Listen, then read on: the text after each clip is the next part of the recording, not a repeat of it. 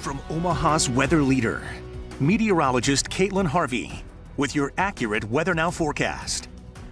Oh, plenty of fireworks off in the distance. Our live look from American National Bank. You can see the American flag there, very patriotic. And I have to say, Omaha and Council Bluffs from all of our Skycam views really know how to celebrate. In fact, so much so, we're starting to see some of this smoke and haze. Air quality unhealthy for Council Bluffs, almost unhealthy, unhealthy for sensitive groups, Lincoln and Omaha, but still very much feeling some of this uh, heat index, still feeling like the upper 80s to mid 90s.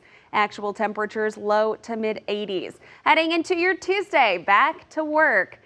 Oh, our muggy meter, it is miserable with dew points up to about 70 degrees, if not a little bit higher. So with the combination of our heat and our heat index, we do have a heat advisory out for the entire area until 8 p.m. tomorrow. Uh, seeing uh, feels like temperatures between 100 to 108, but like we saw in Denison today, they could be even higher.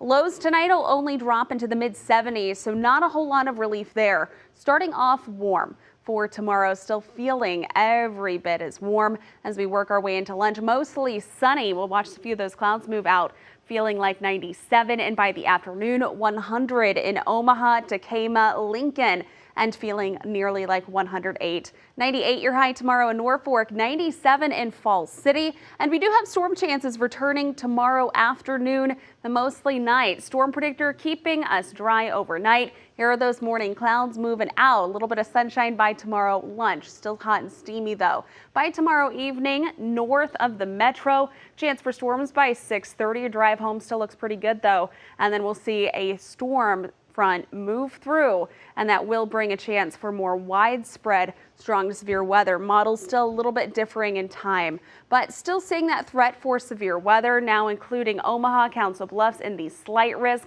enhanced risk further north, and the lower risk for isolated storms, including Lincoln.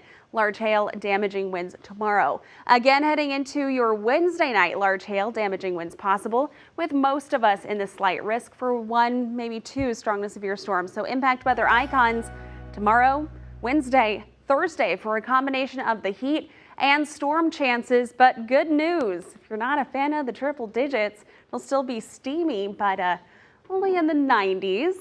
We'll stay dry as we head into next weekend, though still, of course, pretty steamy.